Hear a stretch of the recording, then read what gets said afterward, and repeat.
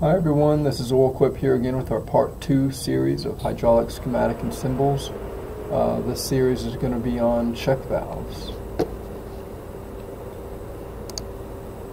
Uh, the whole purpose of a check valve is to allow flow in one direction, but to block flow in the other direction. Uh, if you have a physical check valve in your hand, you'll see one of these two symbols on it, and if you don't, you'll at least have an arrow indicating the free flow direction of a check valve. Uh, check valve basically consists of a seat, a ball, and a spring. Uh, sometimes it is shown without a spring, and sometimes it is shown with a spring. Either way, the symbol means the same thing.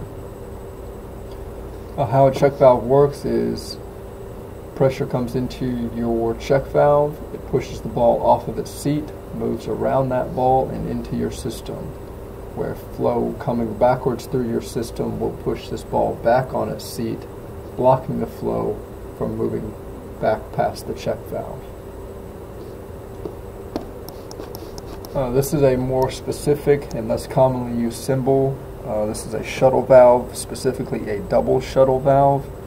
Its whole point is um, to connect the two higher working ports um, to a common port or a signal port. Uh, it's also a lot of times shown with a single shuttle, uh, but it does the same thing. It connects these two working ports to a single common port.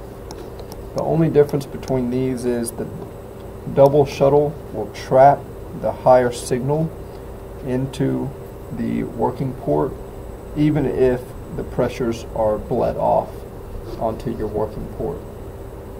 Whereas the single shuttle if you bleed both of these pressures, um, you, you, can have a decay of this pressure signal in your signal port. This is a pilot operated check valve or a PO check. This is specifically a pilot to open check valve, uh, meaning it operates the same way. Pressure comes in, moves around the ball into your system, um, and also, this system, if the flow comes in the opposite direction, will close this ball back on its seat, blocking the flow. However, pilot pressure can be sent in this pilot line and pilot this check valve open, allowing that blocked flow to now move through in the reverse direction. Uh, this is a what we call a cross-ported pilot to open check valve uh, meaning pressure, if the pressure port is on this side, you move through this check valve and you also pilot this check valve open. Um, and then same thing, if this side is pressurized, you're moving free flow through this check valve, but you're piloting this check valve to be open. I'll back out a little bit to show you the full example here. If we have directional valve controlling the extend and retract of a cylinder. We operate this solenoid. We're now moving P to A and B to T. Our P goes into our A port. We're free flowing through this check valve into the cap end of the cylinder. The cylinder does not extend, however, because we can't get the fluid out of the rod end to escape. It's blocked by this check valve, so that's why we have a cross-piloted line here that opens this check valve, allowing that flow to now escape into our B line, and our B is now traveling to T because we've energized this solenoid. And in the same way, when we want to retract the cylinder, we activate this solenoid. We're now in the P to B, A to T direction, so our pressure is P to B. Free flow through this check valve, we're filling this cavity, retracting our cylinder, to allow this oil and the cap into the cylinder to escape. The same pressure line that moved through this check valve is now piloting this check valve open and we are now traveling and the A line is connected to our T line because we've activated this solenoid.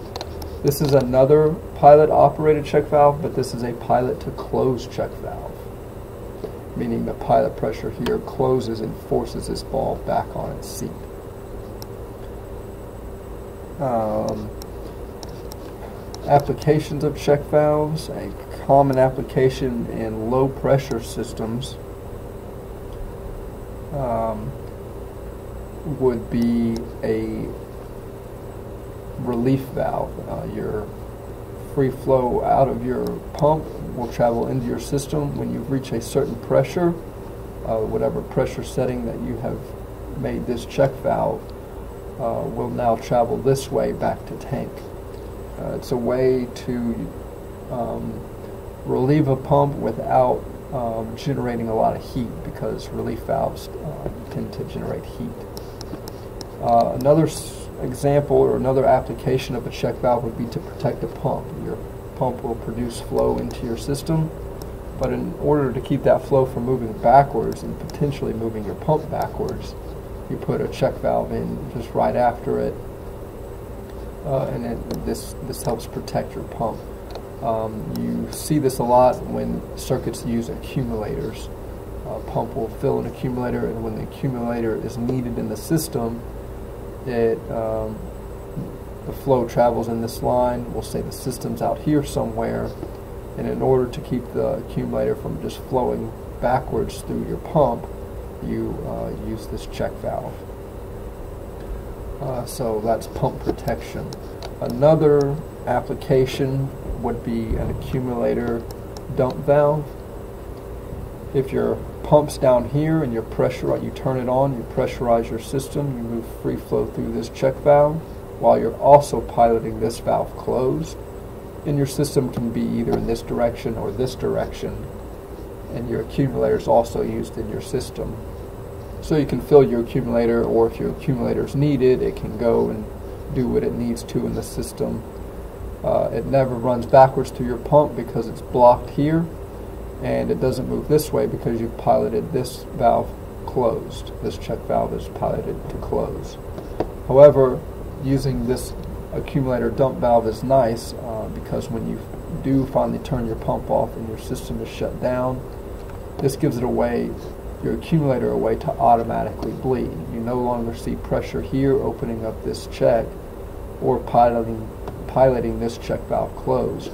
So your system then drains through this check valve and into your tank port. Uh, probably the most used um, application for a check valve is for bypass reasons. Uh, this bypass check valve will bypass this filter if this filter gets too clogged, creating too high of a pressure differential.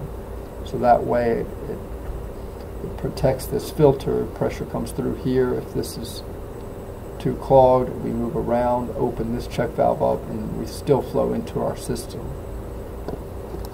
Uh, and then same thing with this flow control.